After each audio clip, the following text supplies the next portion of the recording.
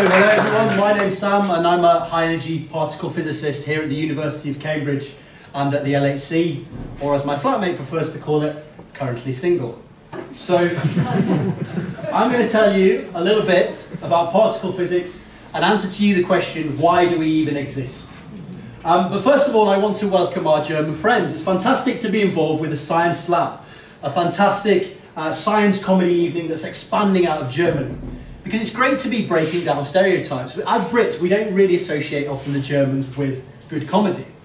And uh, historically, Germans expanding into Europe and Germans sending, and Germans sending aside is something that us Brits have had to worry about, not laugh about. So it's nice to be setting something straight. It's also nice to be talking about physics right here in the fountain, a venue that seems to transcend all physical laws of space and time given that it's a pub in the centre of Cambridge that's open after 11 o'clock on a Thursday night. in, case you don't know, there's also a great deal of science done here in the, uh, in the fountain. Every Friday night by the emerg uh, Medical Emergency Services and also by the Cambridge Constabulary Forensic Unit. So this really is a great place to be talking about high-level science, in case you didn't know. Um, I'd like to throw something out there as well. If you're confused at any point in the set, it's a set about physics and maths. We're in a bar. So remember, you're not in a lecture, you're in a pub. So please feel free to, uh, to frequent the bar. Nice picture of Schrodinger's cat. So, also, I'd like to alleviate. I'd like to alleviate a little worry that you might have that there'll be lots of maths in this set. Um, is there anyone in the audience who, for them, maths gives them a kind of creeping sense of dread? Yeah. So we're going to stay away from the maths, I think. I've got Michael beat. Here's the equation of my PhD. It's called the standard model. Um, yeah, I've been doing P uh, PhD for about four years, and I don't have a fucking clue what that means. So we're just going to move on. And we're going to take a more practical approach to the mathematics in this set. And I'm going to tell you why particle physics is like Lego, because everyone likes Lego. And I'm going to sneak the science in round the back, like a L'Oreal kind of shampoo commercial. You know, while you're looking at pictures of Jennifer Aniston's hair, boom, here comes the science. Um, so particle physics is all about finding the smallest building blocks of the universe and working out the IKEA uh, instruction manual for how they fit together. so from high school physics, you probably know that all the matter around us is made of atoms, protons and neutrons with electrons whizzing around the outside. Uh, but what if we want to look for smaller units underneath? How do we do that? Well, when we look at something intricate like a watch or a clock, we take the bits apart and we see how they fit together to make a whole. With atoms, we can't actually do that. The clock is too small. We can't get the screwdriver in. So what do we do? We smash the clock over the head and we see the bits that come out and how they fit together. And that's exactly what we do with the Large Hadron Collider. Now, if that seems a little bit complicated, I'd like to give you some takeaway analogies from tonight. And the first one is particle physics. Now, particle physics is just like sex, which is really handy because when you study it, it tends to be the thing that it replaces. Um, but seriously, particle physics is just like sex. Initially, you have no idea what you're doing or what you're looking for. So how do you start? Well, you, by, you start by randomly smashing things back and forward, desperately hoping for the explosion you're looking for, which is exciting, but one way or the other, over far too quickly. The whole process involves a lot of trial and error. And the inevitable consequences are just a set of results that need to be cleaned up by a stack full of paper. so physics, particle physics is like sex. And once we finish all this sexual experimentation, we have these Lego building blocks to make up the entire universe.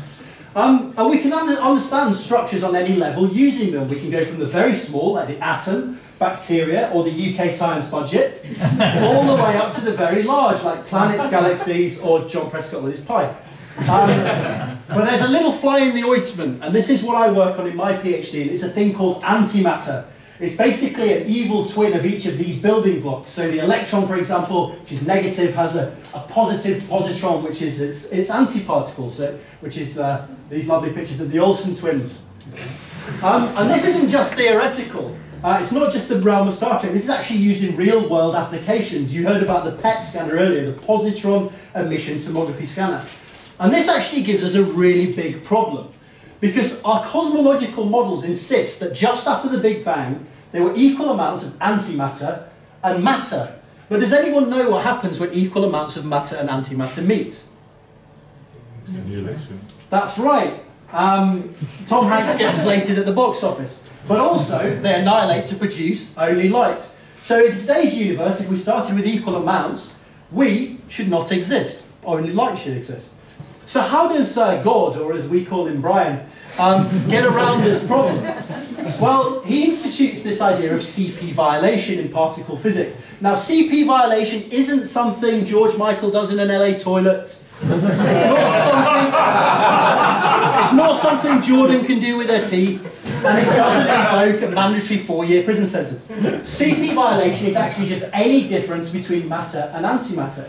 So if we start with equal amounts of matter and antimatter, and we have a difference in their decay rates, we can start to get a little imbalance in the early universe through this CP violation. Now when slightly unequal amounts of matter and antimatter meet, you have a little bit of matter left over from that excess and lots of light. And that's happily the universe that we can survive and live in today.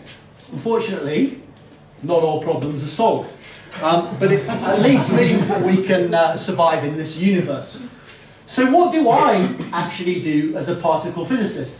Well, at the LHC, we smash two protons together and this produces kind of a, a, mini Big Bang. It produces equal amounts of particles and antiparticles. So these are the, exactly the conditions that we had just after the Big Bang, explosive and fiery, kind of like a Friday night in here.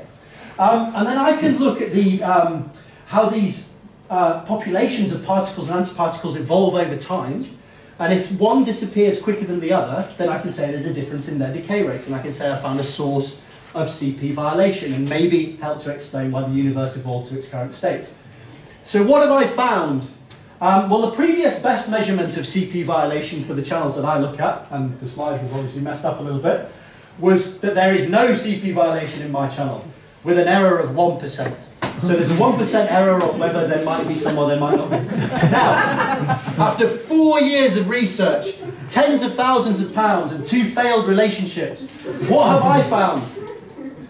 CP violation is zero, plus or minus 0.6%. But I have the world's best measurement of nothing. Which is something to be proud of. My supervisor is very happy with this. Um, but unfortunately, it doesn't help me to get become a doctor. Uh, and there's a nice picture of Dr. Dre, PhD.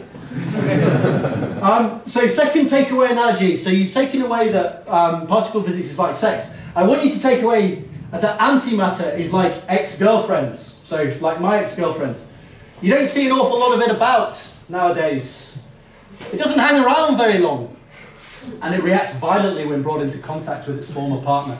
Certainly works very well for any relationship I've ever been in. So this is what I want you to take away. Take away that particle physics is like sex because you'll remember it, and take away that these properties of antimatter because they're like X relationships. So basically, anything in particle physics is just about dealing with the, the fairer sex. If only Albert had known this back in his day, then I think the 20th century might have been much easier. So anyway, it's probably time for me to go because like the great particle physicist Steve McQueen before me, I don't want to have to be chased off by the Germans.